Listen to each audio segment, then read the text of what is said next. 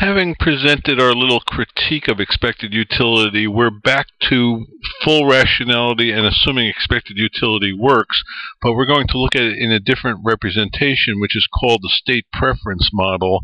So I want to explain this diagram a little bit before I start pushing on buttons there are two states, state 1 and state 2. The initial lottery has 250 in state 1 and 2250 in state 2. That's what we saw before, is this point. This dashed upward sloping line is called the certainty line. Points on the line have the same amount in state 1 as in state 2, and if you get the same amount in both states, that's certainty. This downward sloping red line has the same expected dollar value as the initial lottery. So this is called a fair bet line or a fair odds line. The expected dollar value stays the same. This is an indifference curve. It comes out of the expected utility. Now I'm going to increase the probability of state 1 and look what happens to the indifference curve. Both the fair odds line and the indifference curve change. The probabilities are actually in the preference here, um, and the odds obviously do change too.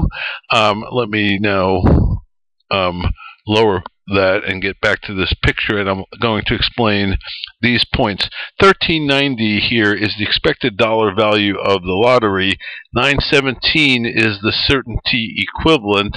If you had 917 for certain, you would be indifferent to the lottery, and um, the risk premium then is 1390 minus 917. That's the willingness to pay to get rid of the risk. As before, we had a um, another control. I'll scroll down here a little bit. So you have that same Arrow-Pratt relative risk aversion um, control here, and I'm going to control it but focus on the diagram. So if I make myself less risk averse here. I'm going to lower the Arrow-Pratt measure. Look what happens to the indifference curve. The thing is less curvy. The certainty equivalent moves closer to the expected dollar value of the um, gamble. And if I make it all the way down to zero, I'm getting close to zero, and here it's zero, the indifference curve co coincides with the fair odds line. If you are risk neutral, your indifference curve is the fair odds line. I'm even going to make the Arrow-Pratt measure negative here, and so let's make it pretty negative, and now it curves the other way. Now, in fact, if you are forced to absorb risk, you need to be compensated to, uh, excuse me, if you're forced to reduce risk, if you're forced to reduce risk, you need to be compensated for this.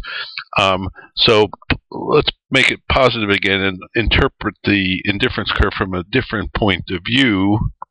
So let's make it a little bit more positive. Starting from here, certainty, as you take on risk going either way away from certainty, expected dollar value has to increase because you're taking on additional risk. So as you move away from certainty, um, expected dollar value increases staying on the same indifference curve. That explains the preferences.